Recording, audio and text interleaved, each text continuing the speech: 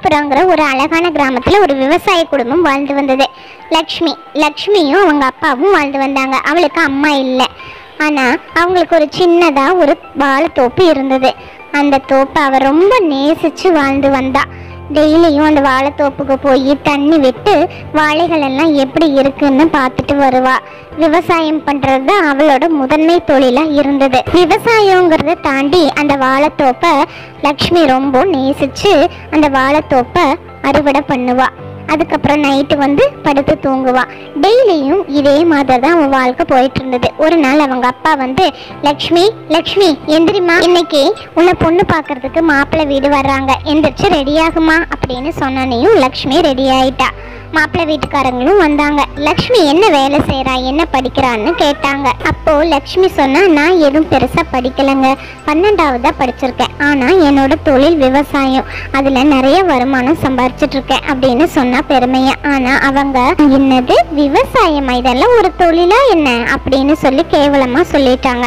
என் பையன் ஐடியில் மாதம் ஒரு லட்சம் ரூபாய் சம்பாதிக்கிறேன். ஆனால் நீ விவசாயம் பண்ணிட்டு இந்த பெருமையை அடிக்கிறியா? என் பையனுக்கு ஏத்த பொண்ணு நீ இல்லை அப்படின்னு சொல்லி கேவலமா பேசிட்டு அங்கிருந்து கிளம்பி போயிட்டாங்க. அதுக்கப்புறமா லக்ஷ்மி ரொம்ப வருத்தப்பட்டுட்டு வாழைத்தோப்புக்கு போய் தன்னோட கஷ்டங்களை எல்லாம் வாழை மரங்கிட்ட சொல்லி பேசிட்டு இருந்தா. அதுக்கப்புறம் வீட்டுக்கு வந்து ஏப்பா இப்படி பண்றீங்க? எனக்கு நான் கல்யாணம் வேணும்னு நான் இப்போ கேட்டேனா? கொஞ்சம் அமைதியா இருங்கப்பா அப்படின்னு சொல்லிக்கிட்டு இருந்தா.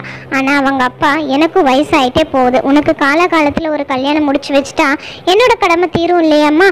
அதையெல்லாம் ஒன்றும் நினைக்காத. நான் இன்னைக்கு புரோக்கர் கிட்ட பேசிட்டு நாளைக்கு ஒரு மாப்பிள்ளை வருது. நீ ரெடியாகு அப்படின்னு சொல்லிட்டாரு அவங்க அப்பா. மறுபடியும் லக்ஷ்மி வாழைத்தோப்பு கிட்ட போய் பேசினா என்ன இப்படி? எனக்கு டெய்லியும் மாப்பிள்ளையா வருது. ஆனா யாரும் என்னை கட்டிக்கிற மாதிரியே தெரில அப்படின்னு சொல்லி அழுதுட்டே கீழே மயக்கம் போட்டு விழுந்துட்டான் அதுக்கப்புறமா லக்ஷ்மியை புறப்பட சொன்னார் அவங்க அப்பா. திருப்பியும் லக்ஷ்மியை பொண்ணு பார்க்கறக்கு ரெண்டு பேர் வந்திருந்தாங்க.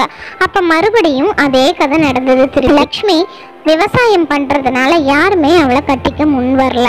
என்னென்னா வாழைத்தோப்பில் என்ன வருமானம் வரும்? படித்த பிள்ளையா இருந்தால் நல்லா வேலைக்கு போய் சம்பாதிக்கும் அப்படின்னு தான் ஊர் மக்கள் எல்லாம் லக்ஷ்மியை கேவலமாக பேசுறக்க ஆரம்பிச்சிட்டாங்க. இந்த பொண்ணு வயசாயும் வாழைத்தோப்புக்குள்ளேயே இருக்கும் போல.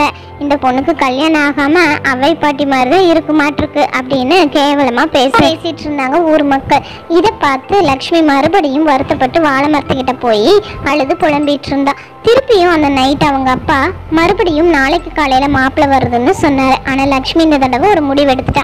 எனக்கு கல்யாணமே வேண்டாம்ப்பா. அதுக்கப்புறம் அந்த விஷயம் ஊருக்குள்ள தெரிஞ்சு லக்ஷ்மியை மறுபடியும் ஊர் மக்கள் கேலியும் கிண்டலுமா பேசினாங்க. லக்ஷ்மி தன்னோட வாழைத்தோப்புக்கு போகும்போது வரும்போதெல்லாம் மக்கள் அவளை கூப்பிட்டு என்ன லக்ஷ்மி உனக்கு இன்னும் கல்யாணம் ஆகாதாமா?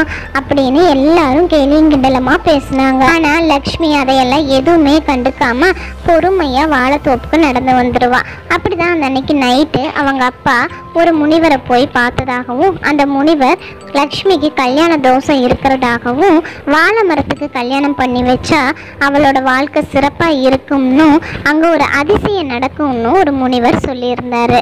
அதை வந்து லக்ஷ்மி கிட்ட சொல்லிட்டு இருந்தாரு அவங்க அப்பா. அதுக்கு லக்ஷ்மி அப்பா இதுதான் லாஸ்ட் சான்ஸு இதுக்கு மேலே என்னோட கல்யாணத்தை பற்றி நீங்கள் பேசக்கூடாது.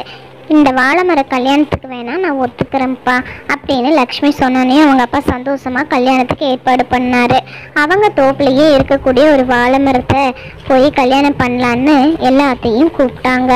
அப்போது எல்லாரும் வந்துட்டு இது என்ன லக்ஷ்மிக்கு ஒரிஜினலா கல்யாணம் ஆகலைன்னா கூட வாழை மரத்து கூட கல்யாணம் ஆகுது. ம் எப்படியோ அவளோட கல்யாண வாழ்க்கை வாழை மரத்து கூட தான் போல அப்படின்னு சொன்னோன்னையும் வாழை மரம் ஒரு ஜொலி ஜொலிப்போட மாப்பிள்ளை உருவத்துல உருவெடுத்துருச்சு. அப்புறமா மாப்பிள்ளை லக்ஷ்மியை கேவலமா பேசினவங்க எல்லாத்தையும் கயிற்றுல கட்டி போட்டுட்டாங்க. உடனே எல்லாரும் பயந்துட்டாங்க. அதுக்கப்புறம் லக்ஷ்மி கிட்ட மாப்பிள்ளை இப்படி சொன்னாரு. நான் ஒரு தேவகுலத்தை சேர்ந்த தேவன். என்னோட சாபத்தினால நான் வாழமரமா இருந்தேன். ஆனா நீ எனக்கு தண்ணி ஊத்தி உயிர் கொடுத்ததுனால என்னோட சாபமும் போயிடுச்சு. உனக்கு வாழ்க்கையும் கிடைச்சது. எனக்கு லக்ஷ்மியை கட்டி கொடுங்கன்னு அவங்க அப்பா கிட்ட சொன்னாங்க. அப்ப அவங்க அப்பா சந்தோஷமா லக்ஷ்மியை கல்யாணம் பண்ணி கொடுத்தாங்க. ரெண்டு பேரும் ஆசீர்வாதம் வாங்கிட்டு வேற ஊருக்கு போயிட்டாங்க. லக்ஷ்மி மனக்கோலத்தில் அவன் வீட்டுக்காரரோட கிளம்பி போனதை பார்த்து ஊர் மக்கள் பரவாயில்லையே லக்ஷ்மிக்கு இப்படி ஒரு வாழ்க்கை கிடைச்சிருக்கு. மாப்பிள்ளை ரொம்ப அழகா இருக்காரு. அப்படின்னு சொல்லி பெருமையா பேசிட்டு இருந்தாங்க ஊர் மக்கள். இந்த கதையில இருந்து என்ன தெரியுது அப்படின்னா லக்ஷ்மி ஒரு விவசாயி அப்படிங்கிறதுனால நிறைய பேர் ஒருத்தர் வந்து பார்த்துட்டு அவளை கட்டிக்கவே இல்லை. ஆனால் நம்ம இந்தியாவோட முதுகெலும்பு கிராமம் தான். கிராமத்தில் இருக்கிற முதன்மை தொழில் விவசாயம் தாங்கிறது நம்ம கண்டிப்பாக தெரிஞ்சுக்கணும். அது மட்டும் இல்லைங்க இந்த கதையிலிருந்து முக்கியமாக நம்ம தெரிஞ்சுக்க வேண்டிய விஷயம் என்னென்னா ஊர் நம்மளை எப்படி வேணாலும் பேசுங்க. நம்ம ஏழ்மையாக இருக்கும்போது ஏசும் நல்லா இருக்கும்போதும் ஏசும். என்னென்னா ஏழ்மையாக இருக்கும்போது ஏழையாக இருக்கான்னு பேசுவாங்க. பணக்காரனாக இருக்கும்போது பணக்காரனாக இருக்கான்னு பேசுவாங்க. ஸோ மற்றவங்க பேசுறதுக்காக நம்ம வாழ்க்கை நடத்தக்கூடாது. நம்மளுக்காக மட்டுமே நம்ம வாழணும் இல்லையா? நாக்கில்லா நரம்பு எப்படி வேண்டுமானாலும் பேசும். ஆனால் அதைய பொறுத்தவங்க தான் பூமி ஆழ்வாங்க பொறுக்காதவங்க கண்டிப்பாக மண்டை ஆழ்வாங்க இந்த பழமொழி எல்லாத்துக்குமே தெரிஞ்சிருக்கும்னு நினைக்கிறேன். நம்ம வீட்டு டீனேஜ் குழந்தைகளுக்கு கண்டிப்பாக இந்த பொறுமையை சொல்லி கொடுக்க வேண்டும். பொறுத்தவங்க தான் ஜெயிப்பாங்கங்கிறதையும் நம்ம கண்டிப்பாக சொல்லி கொடுக்கணும். சரி இந்த கதை பிடிச்சிருந்தா கண்டிப்பாக நம்ம சேனலுக்கு ஒரு லைக் கொடுத்து சப்ஸ்கிரைப் பண்ணுங்க. கதைகள் மலரட்டும் உங்கள் செவிகளில். நன்றி வணக்கம்.